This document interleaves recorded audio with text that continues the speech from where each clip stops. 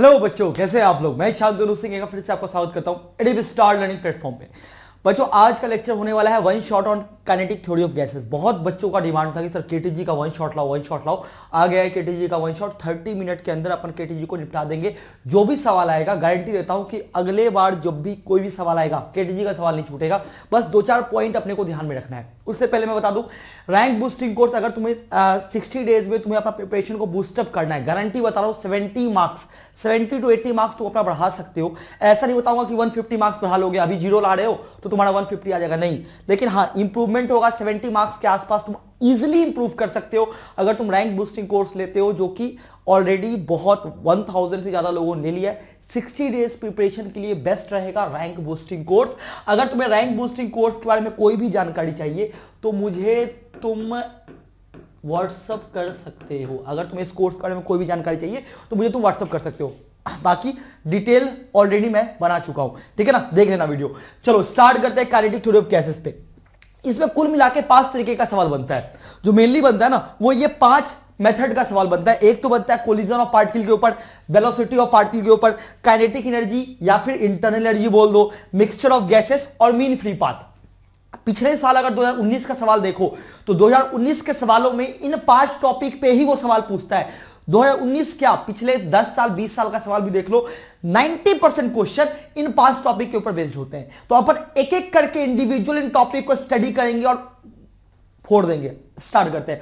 पहला है collision and pressure तुम्हें पता है ना आइडियल गैस क्या होता है? रियल गैस क्या होता है? अपन आइडियल गैस की बात करते हैं रियल गैस की बात अपन केमिस्ट्री में करते हैं। ठीक है ना? अपने लिए क्या है? सिर्फ़ आइडियल गैस है और कोई भी गैस नहीं है। सबसे पहला टॉपिक आता है collision of collision and pressure चलो मान लो मैं क्या बोल रहा हूँ? ये गैस का मॉलिक्यूल है। एक एक बात सुनना गौर से क्योंकि इंपॉर्टेंट है। ये गैस का मॉलिक्यूल है। सबसे पहला सवाल 2019 में इस, इस पे एक सवाल आ चुका है अभी तुरंत करेंगे। एक गैस का मॉलिक्यूल है मान लो वी वेलोसिटी से आया इस वॉल के ऊपर टकराया। टकराने के बाद कोलिजन परफेक्टली इलास्टिक है। परफेक्टली इलास्टिक कोलिजन में जैसे टकराता है, वैसे ही उसी वेलोसिटी से वापस चला जाता है। वी वेलोसिटी से वापस गया। उसने बोला कि बताओ इस मॉलिक्यूल ने इस वॉल के ऊपर कितना प्रेशर एग्जर्ट किया? क्या पूछा? कितना प्रेशर एग्जर्ट किया? मैंने क्या निकाला? इनिशियल मोमेंटम इनिशियल मोमेंटम कितना है? M into v final momentum कितना है? Minus m into v change in momentum कितना आया? टू एम वी का चेंज आया। यानी कि इस पार्टिकल के मोमेंटम में टू एम वी का चेंज आया। मान लो इस मोमेंटम चेंज में टी टाइम लगा। तो टी टाइम लगा तो change in momentum per unit time ही क्या होता है मेरा? फोर्स होता है, भूल गए क्या? फोर्स क्या होता है? Change in momentum upon time तो फोर्स आ गया। एक बार फोर्स आ गया तो इस वॉल के ऊपर प्रेशर कितना लगा? Force upon area of the wall यही होता है प्रेशर ये गैस का कैरेक्टरिस्टिक होता है कि कोलिजन परफेक्टली इलास्टिक अपन लेके चलते हैं। तो इस तरीके का सवाल आ सकता है। हो सकता है कि वो ऐसा भी बोल सकता है कि कोलिजन परफेक्टली इलास्टिक नहीं है। ई e की वैल्यू ज़ीरो है। अगर ई e की वैल्यू ज़ीरो है तो टकराने के बाद मॉलिक्यूल रेस्ट पे आ जाएगा। तो change in momentum two m नहीं, सिर्फ़ एम होगा। तो force average m v upon t हो जाएगा। टी क्या है?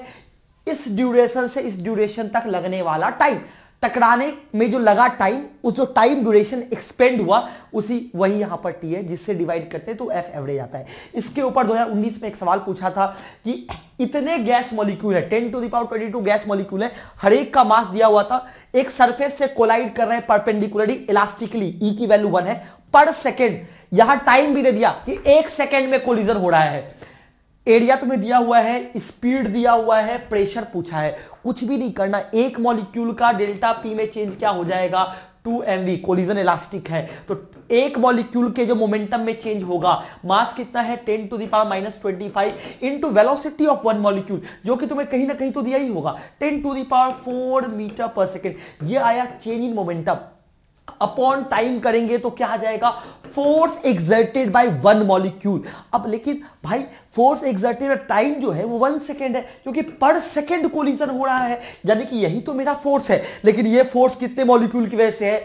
एक मॉलिक्यूल की वजह से। कितना मॉलिक्यूल पर सेकेंड टकरा रहा है? Ten to the power ten to the power twenty two molecule टकरा रहा है। यानी कि मोमेंटम में जो चेंज आएगा, टोटल वो इतना आएगा। तो फोर्स जो आएगा, वो इस वॉल के ऊपर इतने का फोर्स आएगा। प्रेशर बोले तो प्रेशर बोले तो फोर्स अपॉन एरिया एरिया कितना है? वन मीटर स्क्वायर डिवाइड कर दो वन से। यही क्या आ जाएगा? इतना पास्कल मेरा प्रेशर आ जाएगा। ध्यान रखना यूनिट का ध्यान रखना। हो सकता है कभी कभी ये ग्राम में दे, ये नंबर नंबर ऑफ़ मोल्स के टर्म में दे दे, या कुछ भी दे दे। ध्यान रखना यूनिट का बस ध्यान रखना यूनिट का ध्यान रखना, बाकी ये सवाल तुमसे कभी नहीं छूटेगा। नेक्स्ट सवाल की बात करते हैं, अब आते हैं वेलोसिटी वाले सवालों पे। कई बार इस, ये जो फेवरेट सेक्शन होता है केटीजी में चाहे आईआईटी की बात करो या मेंस की बात करो, ये फेवरेट सेक्शन होता है। गैस के तीन तरह के मॉलिक्यूल एग्जिस्ट करते हैं। एक होता है RMS root mean square average और एक होता है मोस्ट प्रोबेबल वेलोसिटी तीनों में देखो, एक में root three R T by m आता है, एक में एक बाई एट बाई पाई आता है और एक में root two R T by m आता है। आईआईटी में बहुत पहले एक बहुत फ़ेमस सवाल पूछता था। पता क्या पूछता था? वो पूछता था वी आर एम एस का रेशियो वी एम पी के साथ रेशियो वी एवरेज के साथ बताओ। अब देखो आर एम एस का रेशियो ऑब्वियस सी बात है तुम देखो root three root three is to under root of eight by pi is to under root of two कुछ ऐसा रेशियो आ रहा है ना बट वो रेशियो ऐसे नहीं देता, पता कैसे देता था? वो रूट थ्री से पूरे इक्वेशन को डिवाइड कर देता था। One is to something is to something या रूट एट बाई पाई से पूरे इक्वेशन को डिवाइड करता था, और वो वैल्यू तुम्हें याद करनी है। मुझे तो याद नहीं है। प्रीवियस ईयर आईआईटी का ऑब्जेक्टिव सवाल देखना, उसमें कहीं ना कहीं तुम्हें इस तरह का सवाल मिल जाएगा रेशियो वाला सवाल। सबसे पहला सवाल उसका ये रहता है। दूसरा टाइप का जो सवाल आता है, वो आरएमएस के ऊपर या इन दोनों के ऊपर आता है। 90 परसेंट चांसेस आरएमएस के ऊपर आता है। सवाल क्या रहेगा? सवाल ऐसा रहेगा कि मान लो मेरे पास एक H2 गैस है और 27 डिग्री सेल्सियस पे और एक O2 गैस है, मान लो 327 डिग्री सेल्सियस पे और बोलेगा दोनों के आरएमएस स्पीड का रेशियो बताओ, यानी कि V RMS of H2 upon O2 अब हम लोग जनरली क्या करते हैं? आँख बंद करते हैं और तुरंत में रेशियो निकालने की कोशिश करते हैं। तो H2 के लिए क्या लिखेंगे? 3RT अब टेम्परेचर अगर तुम 27 लेते हो तुम गलत ले रहे हो, क्योंकि अपने को टेम्परेचर किसमें लेना है? एसआई में लेना है। एसआई बोले तो केल्विन केल्विन बोले तो यहाँ पर 300 का मल्टीप्लाई करना मत भूलना, वरना गलत हो जाएगा। 3 आर टी अपॉन एन अब आधे लोग क्या करते हैं? एम को ले लेते हैं दो, जो कि गलत है, क्योंकि ये क्या होता है? ये होता है दो ग्राम पर मोल। ग्राम थोड़ी ऐसा ही है, अपने को two into ten to the power minus three K G per mole, यानी कि यहाँ पर two into ten to the power minus three लेना पड़ेगा। ये ध्यान रखना इस बात का, वरना ये गलत हो जाएगा अगर तुम करोगे कैलकुलेशन वैसे ही under root three R into तीन सौ सत्ताईस बोले तो कहा गया? तीन सौ सत्ताईस बोले तो छह सौ आ गया ना? अपॉन ऑक्सीजन का सोलह दुना बत्तीस बत्तीस गुना दस की पावर माइनस तीन करना मत भूलना। रेशियो लो काट कूट दो आरएमएस स्पीड का रेशियो तुम्हें मिल जाएगा। इस तरीके का सवाल पूछता है कि इतने टेम्परेचर पे इतना था तो अगले टेम्परेचर पे कितना होगा।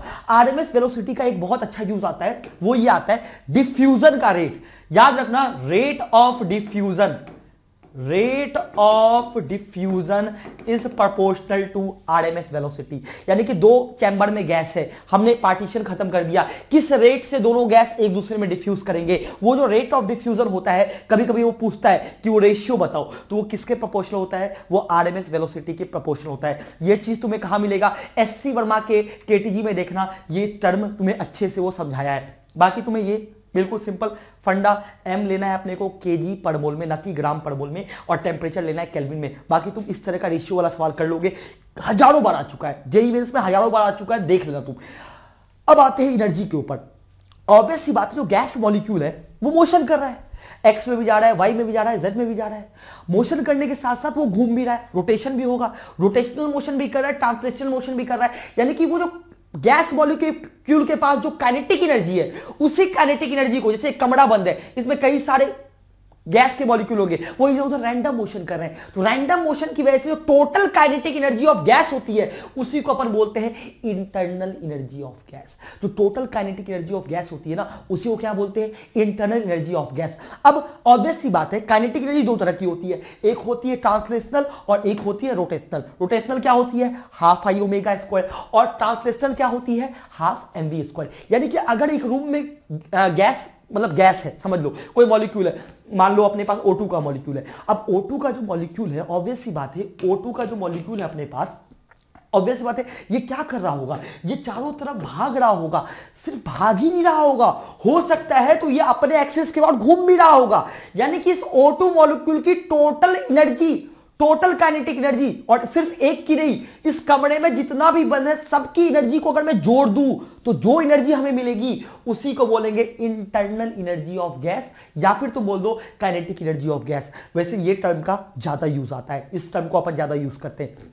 अब एक बात बताओ, अभी तुमने क्या देखा कि velocity is function of temperature भाई velocity is function of temperature और वेलोसिटी अगर फ़ंक्शन ऑफ़ टेम्परेचर है तो पक्की बात है kinetic energy is half m v square mean kinetic energy will be function of temperature यानी कि internal energy will be function of temperature internal energy of gas molecule internal energy को U से denote करते हैं is function of temperature हमने कुछ calculate किया और हमें क्या पता चला कि इंटरनल एनर्जी या फिर kinetic energy of gas is given by f by two R into n into T किसी टेम्परेचर टी पे ये किसी भी गैस की काइनेटिक एनर्जी होती है। तो ये पता है आर गैस कांस्टेंट है टी मेरा टेम्परेचर है। अब तो बोलोगे, सर, ये एफ़ क्या है?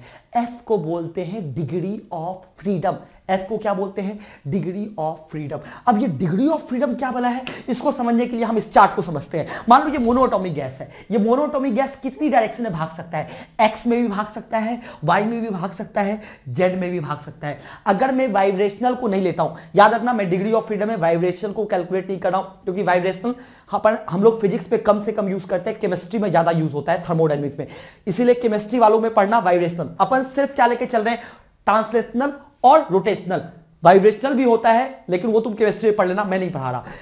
मोनोटॉमिक गैस है। तीन डायरेक्शन में भाग सकता है। तो तीन डायरेक्शन में भाग सकता है, यानी कि इसकी डिग्री ऑफ़ फ्रीडम हो गई तीन। बस खत्म।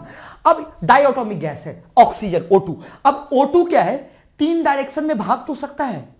और दो एक्सिस के अबाउट घूम भी सकता है। तुम बोलोगे, सर, घूमने के लिए तीन एक्सिस भी तो है। एक्स के अबाउट भी घूम सकता है वाई के अबाउट भी घूम सकता है जेड के अबाउट भी घूम सकता है। लेकिन मैंने बोला, सिर्फ़ दो एक्सिस के अबाउट घूमेगा, तभी उसकी एनर्जी सिग्निफिकेंस आएगी। ऐसा क्यों? अगर वो वाई के अबाउट घूमता है तो देखो बॉन्ड के बीच की कुछ दूरी है तो मोमेंट ऑफ़ इनर्सिया कुछ सिग्निफिकेंट आएगा।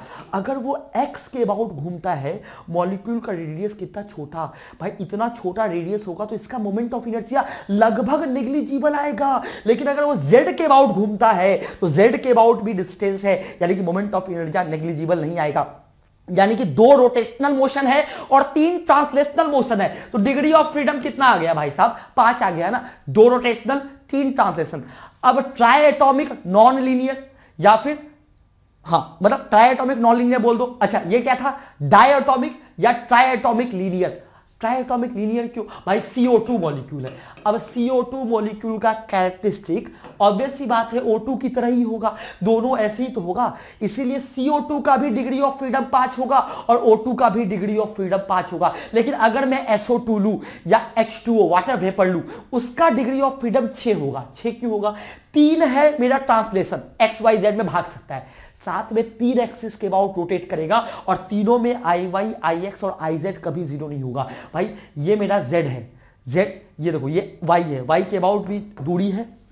ये मेरा एक्स है। एक्स के अबाउट भी ऑब्वियस सी बात है। इसके अबाउट भी तुम देखो, कहा गया? ये दूरी है। कुछ ना कुछ डिस्टेंस है। और तुम देखो, ये z है। Z के अबाउट भी तो इसका कुछ ना कुछ डिस्टेंस है। यानी कि तीनों के अबाउट सिग्निफिकेंस है। डिग्री ऑफ़ फ्रीडम यहाँ पे कितना हो जाएगा? छह हो जाएगा। यानी कि मॉलिक्यूल देखो, पहचानो और डिग्री ऑफ़ फ्रीडम लिखना सीख लो। अगर तुम्हें डिग्री ऑफ़ फ्रीडम लिखना सीख लिया, तुरंत में तुम इंटरनल एनर्जी या गैस की काइनेटिक एनर्जी को लिख सकते हो। F by two R n into T या n f by two R into T f by two R को बोलते हैं सीवी अगर तुमने थर्मोडाइनमिक्स में पढ़ा होगा तो molar heat capacity at constant volume C बोलते हैं। इसीलिए हम क्या बोलते हैं पता है? सीवी जो होता है डेल्टा यू जो होता है, वो टेम्परेचर का फ़ंक्शन होता है। उसको किसी चीज़ पे डिपेंड नहीं करता। काइनेटिक एनर्जी ऑफ़ गैस सिर्फ़ टेम्परेचर के ऊपर डिपेंड करता है और किसी चीज़ के ऊपर डिपेंड नहीं करता। अब एक चीज़ और मैं तुम्हें बताता हूँ। यू क्या आ गया? एफ़ बाई टू आर या यू को मैं ऐसे भी तो लिख सकता हूँ। एन सी वी टी भाई बाई टू आर को मैंने सीवी लिख दिया। अलग अलग गैस के लिए सीवी की वैल्यू अलग अलग होगी। मोनोटॉमिक के लिए थ्री बाई टू आर होगी। डायोटॉमिक के लिए लीनियर वाले के लिए फाइव बाई टू आर होगी। ट्राई एटॉमिक नॉन लीनियर के लिए सिक्स बाई टू आर होगी। सीवी की वैल्यू अलग अलग टेम्परेचर से मल्टीप्लाई करेंगे तो उस गैस की काइनेटिक एनर्जी आ जाएगी। अच्छा एक बात बताओ, एक बात बताओ अच्छा एक बात बताओ। मैंने बोला कि एन डेल्टा टी को और क्या लिख सकते हो? तुमने बोला, यार, एक काम करते हैं ना एन सी डेल्टा टी है ना तो एक काम करो N F by two R into T और एन आर टी को तुम कुछ लिख दो। हमने बोला, क्या लिखोगे? एन आर टी को क्या मैं पीवी लिख सकता हूँ क्या? भाई ऑब्वियस सी बात है, चाहे दुनिया में कोई भी गैस हो, चाहे दुनिया में कोई भी गैस हो, इस रिलेशन को तो कोई नहीं भूल सकता। कौन सा relation PV is equal to N R T Avogadro law तो मैंने एन आर टी को पीवी लिख दिया तो ये भी एक काइनेटिक एनर्जी का फॉर्मूला आ गया। ये इमेंस में इस पे सवाल पूछ चुका है। सवाल कहाँ गया? सवाल ये है, दो के of monatomic gas at pressure of इतना डेंसिटी अपने को दिया गया है। What is the order of energy of gas जब भी कहा गया? चल क्यों नहीं रहा है भाई साहब? जब भी वो एनर्जी की बात करता है जब भी वो एनर्जी की बात कर रहा है, अपने को क्या क्या दिया है? अपने को एक तो प्रेशर दिया हुआ है बट अपने को यार वॉल्यूम भी चाहिए, क्योंकि अभी हमने निकाला, कहा गया कहा गया, छिप कहा गया? F by two into PV ध्यान रख रहे हो? F by two into PV monatomic gas दिया हुआ मोनोटोमिक गैस का एफ़ कितना होता है? एफ़ होता है थ्री बाई टू मतलब डिग्री ऑफ़ फ्रीडम थ्री होता है तो F by two PV pressure कितना है? Four into ten to the power four into volume लेकिन सर वॉल्यूम तो नहीं दिया है। अरे भाई डेंसिटी दिया है मास दिया है तो अब क्या वॉल्यूम देगा क्या? पागल वागल हो गए हो क्या? क्या होगा? Mass upon density is volume mass कितना है? दो। डेंसिटी कितना है? आठ। चेक माई कैलकुलेशन यही मेरी यू की वैल्यू हो गई गैस की काइनेटिक एनर्जी हो गई। अगला टर्न आता है काइनेटिक एनर्जी कंजर्वेशन के ऊपर। सवाल क्या रहेगा कि दो चैम्बर में गैस बंद है बाहर से बिल्कुल आइसोलेटेड है। मतलब ये बिल्कुल कैसा है? आ, मतलब क्या बोलते हैं? एडियाबेटिक है। ना एनर्जी बाहर जा सकती है ना एनर्जी बाहर से अंदर आ सकती है। जो एनर्जी इसके पास होगी वही एनर्जी जो एनर्जी इसके पास होगी और जो एनर्जी इसके पास होगी टोटल एनर्जी पूरे सिस्टम का इसके अंदर ही बंद रहने वाला है। ना तो एनर्जी बाहर जाएगा ना एनर्जी अंदर आएगा। और सवाल क्या पूछेगा? अचानक से पार्टीशन हटा दिया। पहले इसका टेम्परेचर T1 था, इसका टेम्परेचर T2 था। अब बताओ फाइनल टेम्परेचर इस पूरे गैस मिक्सचर का क्या होगा? एनर्जी कंजर्वेशन का सवाल है। इसका इंटरनल एनर्जी U1 था, इसका U2 था। और फाइनली इसका U हो गया। तो U नहीं निकाल सकते क्या? भाई U1 प्लस U2 ही तो U होगा। U1 प्लस U2 ही तो U होगा। क्यों? क्योंकि एनर्जी कंजर्वेशन न एनर्जी बाहर से अंदर आई, न अंदर से बाहर गई। तो जितना एनर्जी पूरे सिस्टम का था, वो इसके अंदर कंजर्व रहेगा। अच्छा और एक बात वो बोलेगा कि वॉल को स्लाइड करने में हमने कोई वर्क नहीं किया। मतलब कोई एनर्जी वर्क डन में ऐसा कुछ खर्च नहीं हुई है। इसलिए ध्यान रखना, कई लोग स्मार्ट लोग क्या बोलते हैं? सर पार्टीशन हटाया है वर्क वर्क भी तो कुछ गैस करेगा तो एनर्जी वहाँ भी तो वेस्ट होगी। कोई ऐसा सवाल में लिख के दे देगा, नहीं देगा तो मान लेना कि जब पार्टीशन हटाया तो कोई वर्क नहीं हुआ है। यानी कि total energy of system initial और फाइनल क्या है मेरा? कंजर्व है। सिमिलरली अगर ऐसे नहीं देगा तो ऐसे दे देगा कि दो अलग अलग चैम्बर में गैस है, दोनों को एक रॉड से जोड़ दिया एनर्जी का कोई लॉस बाहर की तरफ़ नहीं हो रहा फाइनली दोनों सेम टेम्परेचर पे आ गया। उस टेम्परेचर की वैल्यू बताओ। चाहे ये सवाल दे या ये सवाल दे, दोनों एक ही सवाल है। तरीका दोनों का एक है। क्या करना है अपने को? अपने को u1 one plus U two को u के बराबर करना है। अब तुम बोलोगे, सर, ये चारों चीज़ देगा क्या? नहीं, वो तुम्हें कोई तीन चीज़ दे देगा। क्योंकि तुम्हें पता है formula PV is equals to NRT तो कोई भी तीन चीज़ दे, चौथा तो निकाल ही लेंगे तो वो तो कोई तीन चीज़ देगा। जेई मेन्स में सवाल आ चुका है। इंसुलेटेड कंटेनर गैस है टू चैम्बर अच्छा दो चैम्बर है, बहुत बढ़िया। जेई मेन्स का सवाल है। सेपरेटेड बाय इंसुलेटिंग पार्टीशन देख रहे हो? One of the chamber has volume V one बहुत बढ़िया। कंटेनर आइडियल गैस है प्रेशर पी वन अच्छा। टेम्परेचर टी वन दूसरे का V two P two T two ही होगा। ठीक है? If partition is removed without doing any work smart आदमी, दे दिया, नहीं देता तो अपन मान लेते। हैं ठीक है ना? हम लोग ज़्यादा स्मार्ट है। गैस फाइनल इक्विलिब्रियम टेम्परेचर अब बताओ, इसमें क्या नंबर ऑफ़ मोल दिया है? नहीं दिया। क्यों देगा? अपने को पता है एन क्या होगा? एन होगा P one V one upon N T one N T one क्यों? आर टी वन सॉरी सही बोला ना? हाँ। और एन टू क्या होगा? P two V two upon R T two मैंने क्या बोला?